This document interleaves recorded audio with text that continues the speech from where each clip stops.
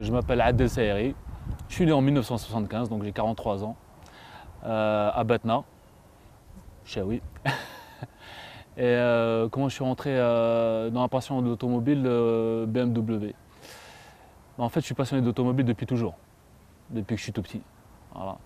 j'ai toujours aimé toutes les voitures, j'aime la conduite plus particulièrement, la vitesse. Je voulais faire du rallye quand j'étais petit, mais malheureusement, ma mère m'en a empêché parce qu'elle a trouvé ça plutôt dangereux. Elle connaissait mon, côté, euh, euh, le côté qui aime la vitesse, euh, le rallye, justement. aller trop vite, c'est pas bon.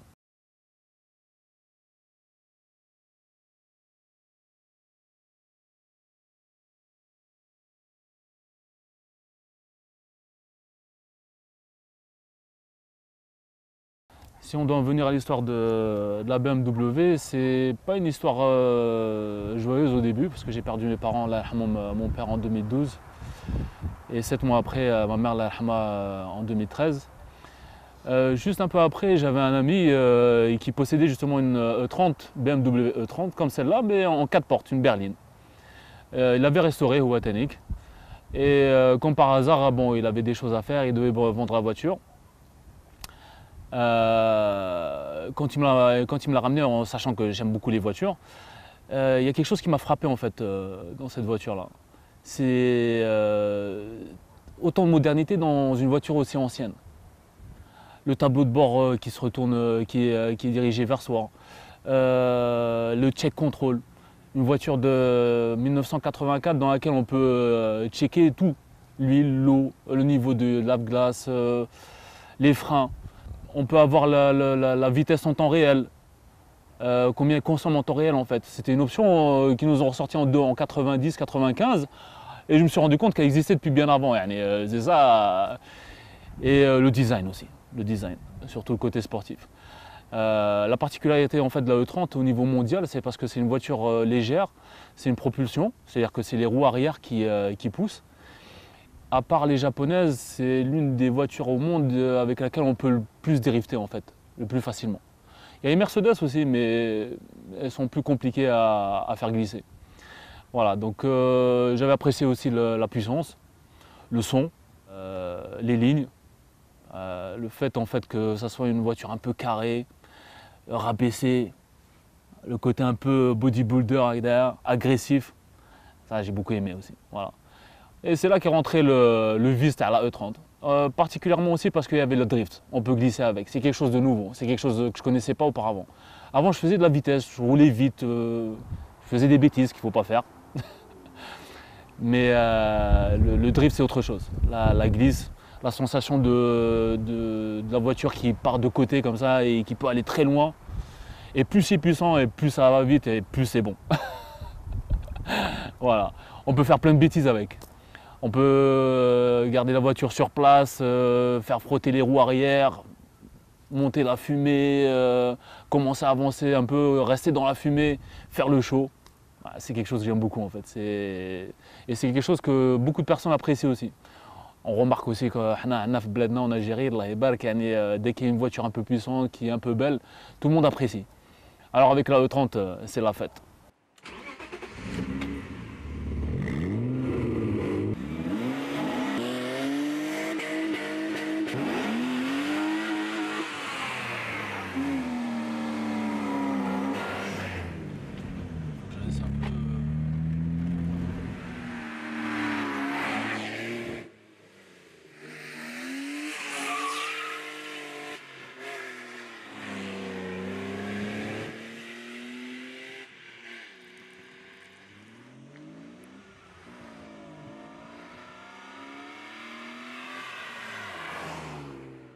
Ce qui s'est passé, c'est que euh, la voiture de, mon ami euh, Brahim et son frère Yassine, euh, que j'avais en premier, la, la, 4 portes, je l'ai améliorée aussi.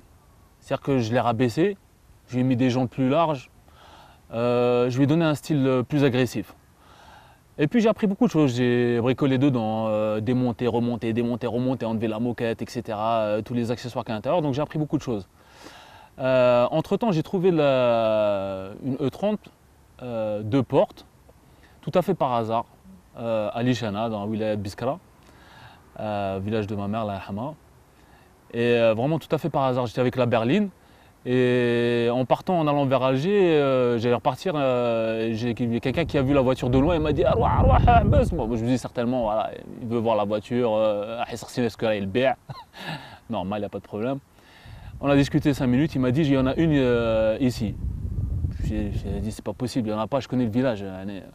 Il m'a emmené vers le véhicule. Quand je l'ai vu, E32 portes, grise, en super bêta un petit coup à l'avant, un tout petit coup à l'arrière. Bon, les accessoires, par contre, euh, il n'y avait rien à rattraper. Il fallait, euh, mais c'est à caisse en fait.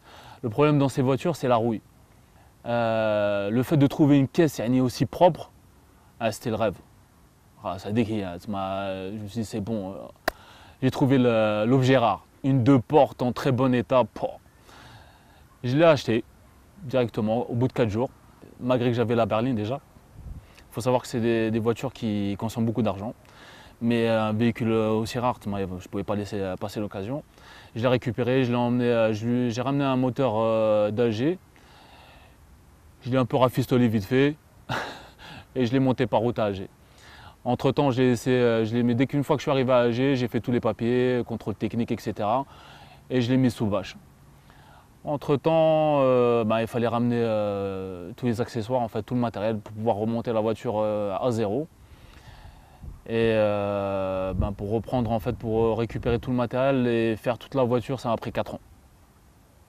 4 ans de travail, 4 ans de dur labeur. Ouais. 4 ans, c'est vraiment dur en fait. c'est long, on n'a pas trop le choix, il n'y a, a, pas grand chose, c'est pratiquement que des vieux véhicules. Et en Europe, euh, il y, a plus d'occasions pour avoir les, pièces en bon état. Euh, il me fallait les, bons accessoires en bon état, euh, pas cassés, pas éméchés, pas une petite brèche sur le plastique ou quoi.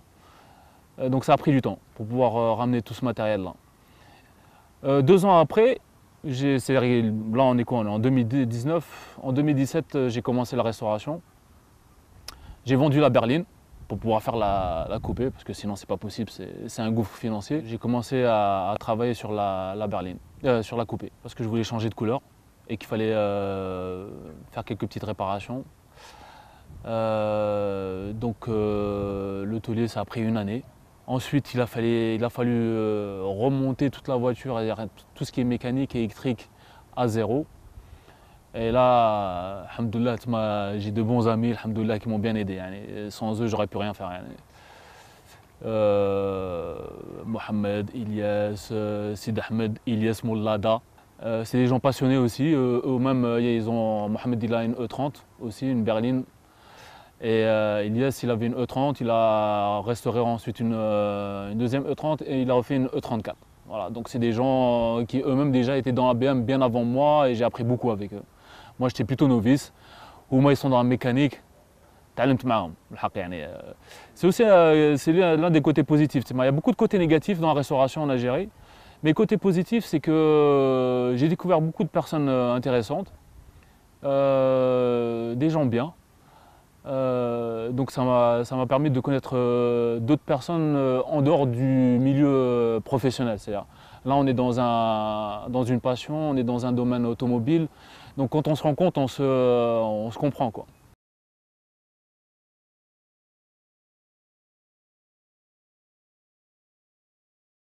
Donc voilà, c'est un moteur euh, M50 B25, c'est la référence exacte en fait euh, dans mon BMW. C'est un 24 soupapes euh, de litre 5. voilà, donc ça c'est pas d'origine. Ça, ça appartient pas à la E30, ça appartient à la E36. Voilà, c'est beaucoup plus puissant et c'est dans un véhicule beaucoup plus léger. D'autant plus que la mienne, c'est une phase 1. Les phases 1 sont plus légères que les phases 2. Voilà, donc c'est un peu ça l'avantage. C'est pour ça qu'ils les aiment aussi pour les drifts. C'est léger, ça part très vite euh, de travers. Euh, moi, ce que j'ai fait, en fait, j'ai fait un, petit mix. Bon, les puristes vont pas trop aimer. Moi, j'ai une phase 1, MTEC 2. Le kit MTEC 2, c'est ce qui est en fait euh, devant euh, sur les côtés et derrière. C'est tout ce qui entoure le, véhicule. C'est tout le, kit qui est autour en fait. Le pare-choc avant, la jupe avant, les baguettes sur les portes, le bas de caisse et la jupe arrière. Tout le pare-choc jupe arrière et le béquet euh, à l'arrière sur le, véhicule. Voilà. Ça, ça appartient en fait euh, à la phase 2. C'est du kit MTEC 2. C'est quelque chose que je voulais faire depuis le début. J'avais vu une voiture turque. Les Turcs, euh, ils sont forts aussi là-dedans, la Eberg. Et euh, depuis toujours, depuis que je l'avais vu, je me dis, si j'en trouve une, je fais la même, Inch'Allah. Résultat est fait. Et j'ai des jantes en 17 pouces, des ports 9 pouces, elles sont assez larges, ce qui donne cet effet agressif et puissant. À l'intérieur, c'est un, salon MTEC 2 aussi avec des sièges sport. Euh, un volant MTEC 2 aussi, j'ai refait, j'ai refait un neuf à ma sauce. Euh, j'ai refait le cuir. J'ai mis du daim au milieu. Et euh, les surpiqûres du, voilà, du kit M, voilà, Motosport. Alors elle n'est pas terminée, j'ai pas encore mis euh, le poste, euh, j'ai pas encore mis la boîte à gants, j'ai encore des petits détails à faire. Il y a le, rétroviseur aussi Imtech, euh, 2 avec les liseuses, c'est une option aussi qui est assez rare. Le ciel de toit noir, j'ai refait un neuf aussi. Ça c'est euh, un ciel de toit sportif à la base, tout ce qui est sport c'est en général noir. les appuis-têtes arrière, le petit détail aussi, ce qui est appréciable dans les, les coupés, c'est les fenêtres qui s'ouvrent sur les côtés. Voilà.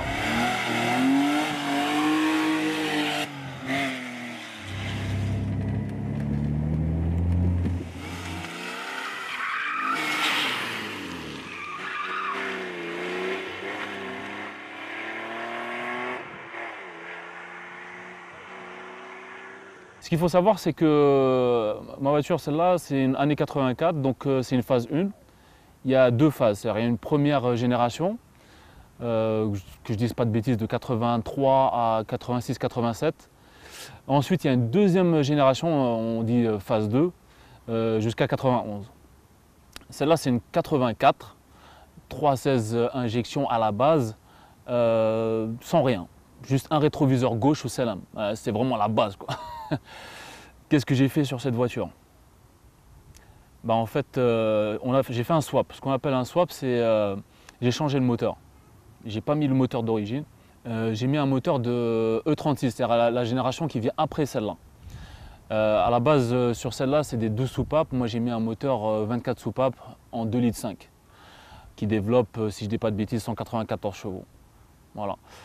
En sachant que la E30 est plus légère que la E36, donc sur une E36, ça développe 194 chevaux, sur une E30, ça développe un peu plus, à peu près 200, 205 chevaux, si je ne dis pas de bêtises, hein, bien sûr. Il y, a, beaucoup de possibilités justement avec la E30, c'est ça qui est bien aussi. On peut la swapper, on peut augmenter la puissance, on peut euh, toucher le calculateur. Après, on peut mettre un turbo, on peut... mais là, ça devient beaucoup plus compliqué. Il faut forger le, moteur et ça devient beaucoup, beaucoup, beaucoup plus cher. En sachant qu'on n'a pas ce qu'il faut en Algérie. On n'a pas ce qu'il faut.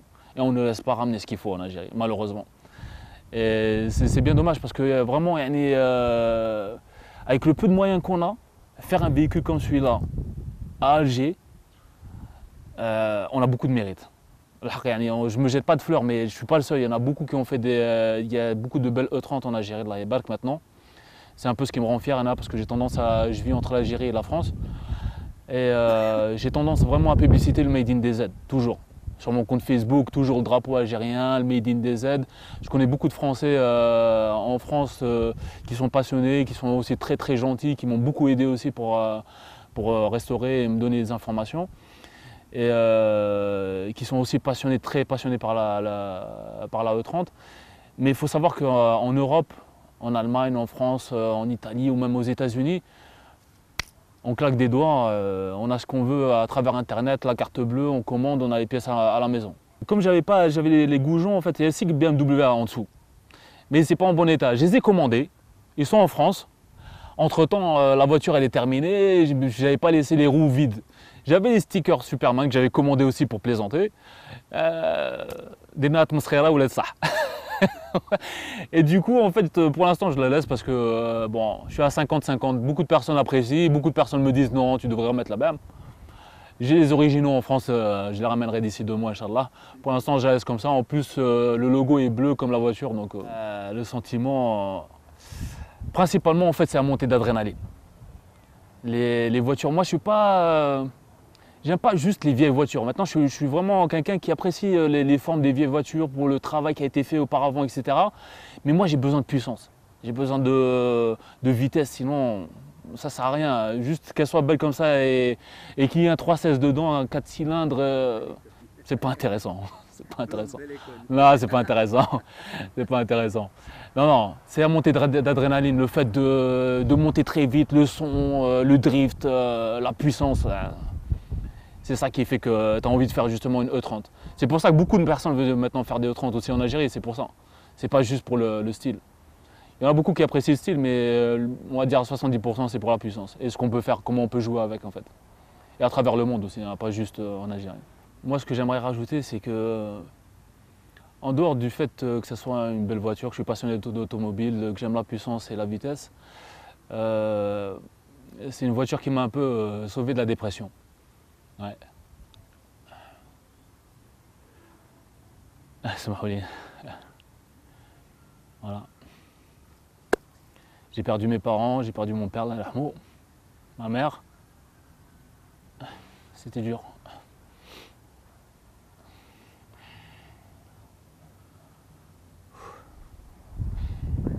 Ah, Donc quand j'ai acheté la voiture, là, celle de mon pote Brahim, euh, ça m'a permis de me concentrer sur autre chose en fait. Voilà. Allez, alhamdoulilah.